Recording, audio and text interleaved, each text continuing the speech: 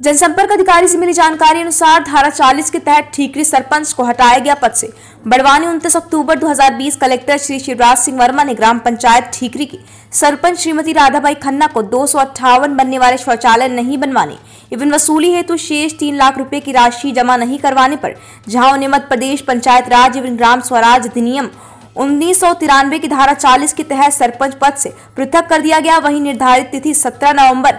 तक शेष तीन लाख रुपए की राशि जमा करवा कर रसीद प्रस्तुत नहीं करने पर सिविल जेल की कार्यवाही करने के भी निर्देश दिए हैं।